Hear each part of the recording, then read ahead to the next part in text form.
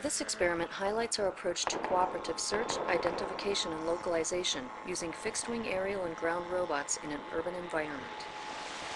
UAVs can cover large spaces relatively quickly, but the accuracy and resolution is limited. Conversely, ground robots are able to obtain close-up measurements with higher accuracy, but at slower rates. We demonstrate a decentralized architecture for active perception that naturally exploits this synergy. Our UAVs are deployed with a flight plan that guarantees exhaustive coverage while looking for a notional target, in this case, an orange-colored rectangular box. The primary sensor on the UAV is a single high-resolution color camera. Like the UAVs, ground vehicles use a high-resolution stereo camera as their primary mission sensor. All vehicles fuse their own autonomous navigation sensors to determine target location. Our algorithms are based on the information form of the Kalman filter, in which the network maintains an information state vector and matrix that capture the feature estimate mean and covariance. Each vehicle follows an optimal controller, in which, at each instant, the best action that maximizes the expected information update is determined. One of the UAVs has detected the target, the orange-colored rectangular box. To avoid false alerts, the aircraft must spot a potential target several times to ensure the acceptable level of confidence.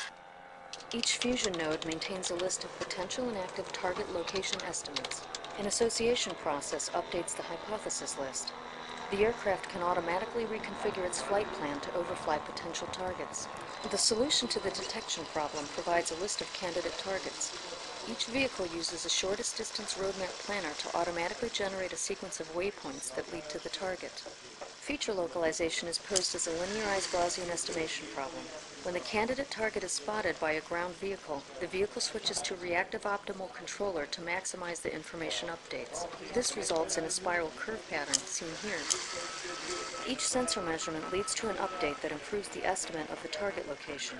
Eventually, this estimate converges to a value that is within the vehicle's localization errors.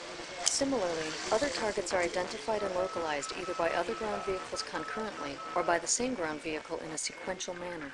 Because aggregate information updates are available to all vehicles in the network without specificity of origin, the approach scales to large numbers of ground and aerial vehicles.